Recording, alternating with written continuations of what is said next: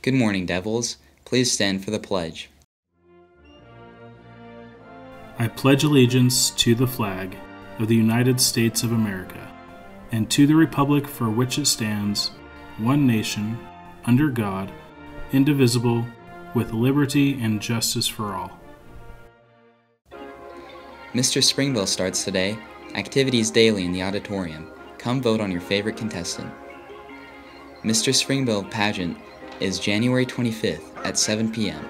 $5 for students, $7 for adults.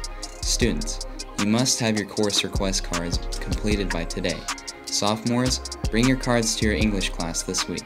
Juniors, bring your cards to your U.S. History class this week. We will help you enter your request into SIS. It must be done this week.